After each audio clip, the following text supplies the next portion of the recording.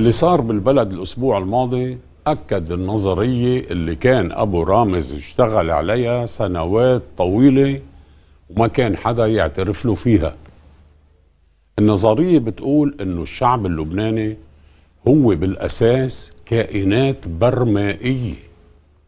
تطورت وتكيفت بمرور مئات السنين وقسم منها بيعود بأصله لبعض المجتمعات اللي ما طلعت على سفينة نوح وعاشت حتى اليوم ما بين مياه الشتاء ومياه البحر.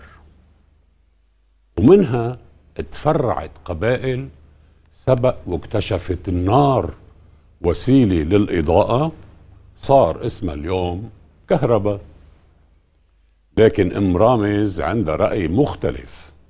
مفاده أن أصول الشعب اللبناني تعود إلى الزحفطونيين من متفرعات السحايا والضفادع.